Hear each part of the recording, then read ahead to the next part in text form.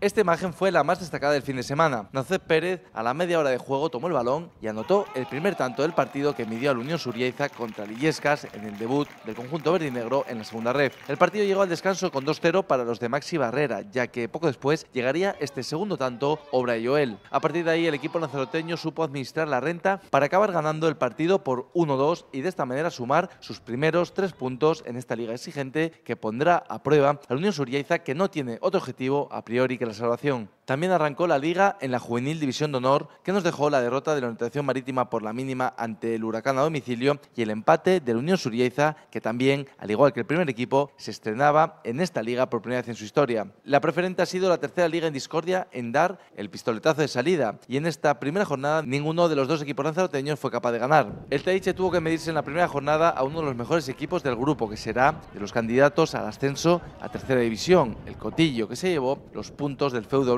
blanquiazul tras imponerse 1-2. El Tinajo empató su primer duelo en la cancha del Telde 1-1. Por último, destacar la celebración de la travesía EMAX con diferentes distancias donde Guillem Puyol fue el más rápido en los 5 kilómetros con un tiempo récord de 53 minutos y 45 segundos, seguido de cerca de Yare Cocera y Gustavo Lurenso. En la categoría femenina, la más rápida en Playa Honda fue Naira Jaén con un tiempo de 1 hora, 1 minuto y 43 segundos. Segunda en discordia, María Brito y tercera, Sara García. En total fueron 70 los que participaron en esta categoría reina, pero también hubo distancia de 2 y 1 kilómetros, además de distancias cortas para los más pequeños e incluso una modalidad inclusiva.